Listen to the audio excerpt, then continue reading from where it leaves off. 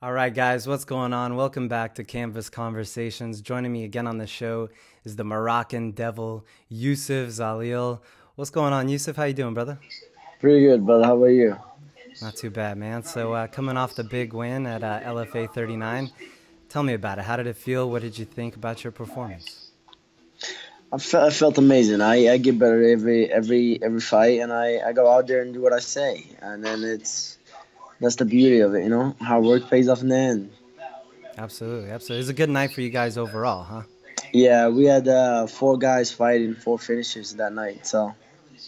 And, and uh, newly crowned champ, right? Yeah. Well, it's an interim, so hopefully he'll fight for that belt soon, or maybe UFC call. We'll see. Yeah, right. So what does that mean for you guys to go in there and kind of just clean house like that? Is that a, a, a big team thing for you guys, or how do you feel about that personally? Oh yeah, it's it's it's always uh, amazing feeling when uh, when you fight your teammate. We feed off each other's energy, you know. come back, you win, you're like you get you get the other guy all excited, ready to go. It's like, okay, my teammate won. I have to do probably better or same or whatever it is, you know. And then you just feed out each other's energy. So it's an awesome experience to see. Absolutely. So, what did you think about uh, the arm with uh, Brandon's fight? Was that nasty or what? Yeah, I can't.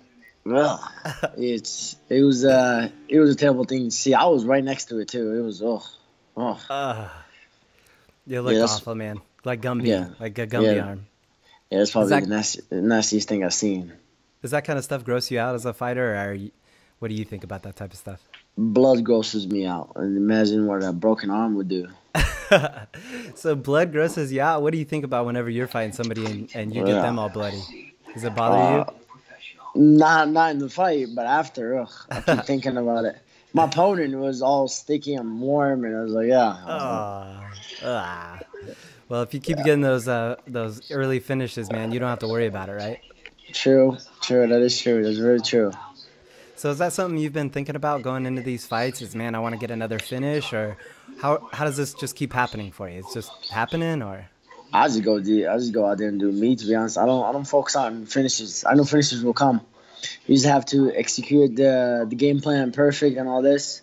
Everything will comes to you. You don't have to chase nothing. All these guys chase knockouts, this and that, this and that. You might get them. Who said you can't? But how? It's pretty rare. You know, it's not every time. You know, he just slows you down, gasses out, and all that stuff. And that's what I kind of been working on past five fights in my pro career. So. So I saw after the fight you started doing this. what what tell me about that? Is are you look, angling already for a title shot with LFA? Is, is that what you want to sign a contract with them and uh, get into that title I mean, talk? I mean, they were they were already talking to me about a title shot without even me doing it. So it's kind of, I knew what I was gonna go out there. I knew what I was gonna do, and I know what I was gonna do in that 45 division if the UFC don't don't pick up. I I know I was coming for that belt. And actually, they have two two guys fighting for the belt this weekend, I think, or something like or next weekend, I think. I can't remember. Mm-hmm. The interim and then the champion. I was like, mm-hmm. I watched these guys. I was like, I can beat these guys. So that's why I was just like, give me that belt. You know, who cares? So is that? Uh, would you rather the path be through LFA, or are you entertaining the idea of maybe getting on the contender series or something like that?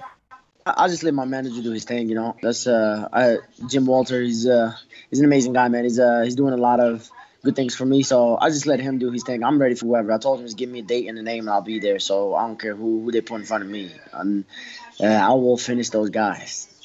How did you get set up with Jim? Uh, actually, my uh, my coach uh, Marc Montoya is uh, is like close friends with him. So and then I knew knew him from Brian Rogers. He's training with us too, but it, that's where I kind of got in introduced to him first. Okay, so it doesn't matter to you. You don't mind if it's LFA, whatever. You're just ready to fight. You're just ready to go. I'll fight for the belt next week. I don't care, or this week. It doesn't matter to me. I took a two-hour notice fight with them. So it does, for you, there's no thought process, just going through the motions, prepare again, and deliver yeah, the same performance. I don't. I really don't think about oh when I'm gonna fight this and that. I mean, I had five fights in nine months. That's mm-hmm. you don't see that a lot. I tell you that. You don't, especially five finishes. I don't. I don't think these guys know they're too terrified. They're too scared to go out there and go out there. I I've trained my ass off. This last thing I'm I'm worried about. Oh, I can't fight this guy. I can't fight this guy. No, let's go out there and do me. LFA actually took the five guys, and then the fi- uh, the fifth guy, the that's the guy who said yeah. So I love it. So do you want to break, man? Are you are you tired, or you do you enjoy this climb right now? I'm 21. I'm never tired. I'm enjoying the climb, and we'll see what comes ahead. You know, when it's time to slow down, it's slow down. But it's not. You you stay you stay rising.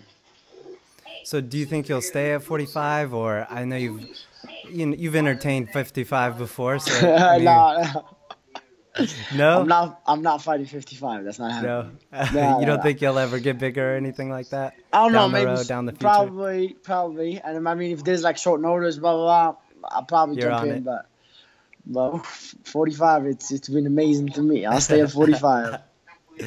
So what? Speaking of the weight stuff and weight battles, what do you think about Mackenzie Dern missing weight by seven pounds uh, in the strawweight matchup with Amanda Cooper? I don't know, man. Uh, people, you chose this sport, so be professional. You know, we get paid and all this and that. It's not like, oh, you just fight in the street. You're not. You're fighting for big promotion, blah blah. It's it's kind of disrespectful to the opponent, which is Amanda, and then to to the whole MMA world. Kind of like every all, most girls have their eyes on Dern. You know, she's an up like next Ronda Rousey, blah blah. But you miss you miss weight by 7.4 pounds. You didn't even try, to be honest. Yeah. I was like, so that's that's really un- unprofessional of her, but what can you do, you know? So who do you think wins that fight tonight? I don't know, man. I I, I got some faith in Amanda. I'm probably, I'm probably sure she did. I think she can win it. She can get it done. Yeah, I think she's uh, that that missing the Mackenzie missing weight kind of lit a fire under Amanda a little bit. So I think she might come into come out there with Oh a little yeah, bit of fire. you especially know? the the interview she had with Fox. That was crazy. Did you see the look in her eyes, man? I know. She's like, sh- she's ready to go. She wasn't messing around. She was not messing around. So, who do you got in the main event? Amanda or Raquel? I don't know, man. I'm going with Amanda. Yeah, I, I feel like that power is. I mean, hard to she's. deal I, with. I don't know. Raquel's like number seven, isn't she? Something like that. I think four or five. Yeah. I mean, I don't think. I don't know. I don't, I don't think. Raquel's tough. She's real tough. Oh, though, she so- she has like that Mexican. Yeah, yeah, Boxing she- mentality. Her co- her boxing coach is, I think, is Mexican. So Yeah. you, you assume what's gonna happen. It's, it's gonna be a brawl. I feel like a, a five rounder. I think. Yeah. You got. Uh, Go ahead. I, might- I might see a finish. I don't know. You uh, for sure maybe with, like like I said with uh, Amanda's power, it might be too much. True. And her, yeah, she has she has a lot of power in that division. She's big for that division too. So what do you think? Do you have a do you have a pick for that fight? Are you taking Amanda? Yeah, I'm taking Amanda. I'll pick Amanda. Okay, got you, got you. Uh, what are your thoughts on the fight of the night? You think anybody's gonna go out there and steal a fight of the night, or do you think it's gonna be the main event? I don't know. Maybe John Lineker and the other guy might steal the uh, the, the whole Boom, card. Brian Kelleher. Yeah. So that that'll be a, that'll be an interesting fight. What do you think about Brian Kelleher? Do you like him? Do you do you pay attention to the guys at your weight class or around your weight class in the UFC? 45, yeah, I do. John not Lineker so much 35. Like, Yeah. like, not, not, not so much. I mean, I, I, I still look at it though. I'm I'm, my weight so like go 35, but I'm not thinking about it. You know, it's not. It's it's it's the last idea in my list. That's to go to 35. But I mean, definitely, I look up to see all these guys at 45 division. Like, oh, you know, these guys fighting. I know I can beat him. Blah blah. You know, all this back and forth talk with yourself. So it's uh, Right. Well, so what do you think of, if if you're paying attention to the 45? What did you think about Yair getting uh, cut from the roster? I don't know, man. He hasn't he hasn't picked uh, that fight that offered him. They, they didn't take uh, what's his name, Lamas, I think. Mm-hmm. Mm-hmm. Ricardo. You're in this business to take fight, not say no. He needs the Youssef Zalal attitude, right? yeah, you know it. uh, man, so what have you been getting into uh, after the fight? What have you been doing to uh, buy your time? Not pretty much nothing. Just play video games and train. there you go. What video games That's are you playing? Call of Duty, World War Two. Okay, I haven't I haven't played that. I'm not. I don't have a lot of time for video games, man. But if I can, I try and get on the Call of Duty. I like Yeah. zombies though. I like the zombie game. Uh, yeah, it's interesting. It gets interesting, especially with uh, with your friends. So Oh, that was yeah, just yeah. exciting. I mean, especially with like like PUBG and stuff like that. They they get it gets crazy intense when you have your friends and all this playing with you. So Any of the Factory X guys play with you?